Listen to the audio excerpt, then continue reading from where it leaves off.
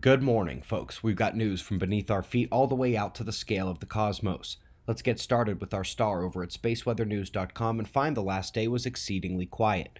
No sunspots, solar flares, and the solar wind at Earth is even calmed back down. There are a number of plasma filaments becoming more active than they've been the last week or so. 90 degrees flip to watch the departing western limb on our star here. The patchy coronal hole scenarios will soon give way to a solid transequatorial one. In 211 angstroms, you should see how much more solid that trailing opening is. Watch the phi angle for another lithospheric magnitude uptick. Speaking of the lithosphere, a remote southern island volcano in Japan went off. Automatic webcam was the only witness way out in the range.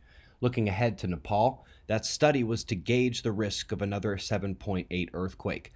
Well, unfortunately, months later, they've turned up evidence that an 8.1 is potential, even likely, more than twice as strong as a 7.8. And while they don't know when it will happen, their study now knows exactly how the crust will destroy that part of the world someday.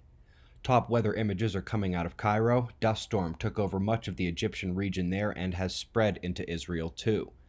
Let's go to the science stories, where that galactic collision we've heard about from eons and eons ago has finally been nailed down with the use of the robust Gaia dataset.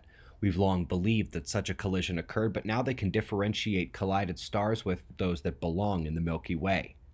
Up next, we're going up to the cosmic level, the cosmic web, galaxy superclusters, and the greatest physics embarrassment of our time the effort to confirm the lambda cold dark matter model top scientists throwing everything they've got at it and even inventing new things to throw.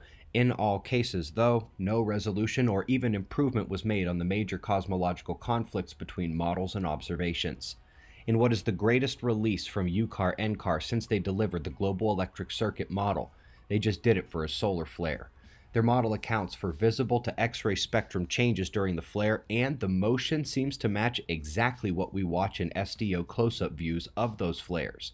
And speaking of the global electric circuit, it is the foundational piece of why the sun's influence on weather and climate is so great, not to mention our health and earthquakes and technology. But the first global network for monitoring the global electric circuit and its effects on the climate is happening now.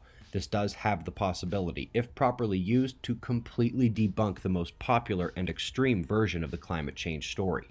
Folks, we've got a new deeper look coming out later today for website members. I'm deep into making episode 10 of the Earth catastrophe cycle, but still another day away. We've got your wind maps followed by shots of our star to close, and we'll do this all again tomorrow, right here. But right now it's 4:35 a.m. in the new Valley of the Sun. Eyes open, no fear. Be safe, everyone.